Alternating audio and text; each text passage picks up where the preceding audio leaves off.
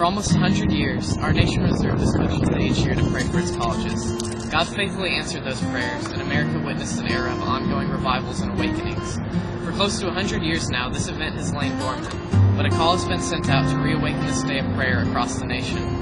The response to this call has been a resounding yes, with participants committing from over 200 colleges, churches, cities, and ministries spanning over 35 states as of February 16th. This movement is growing each day.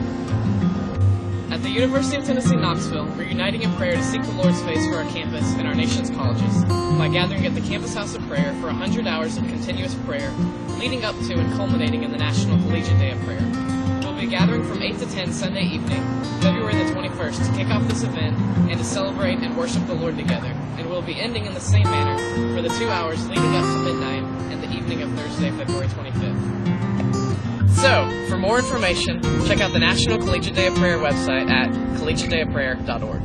So come and join us at the UT Campus House of Prayer. Partner with other ministries at UT and in Knoxville. Pray that God would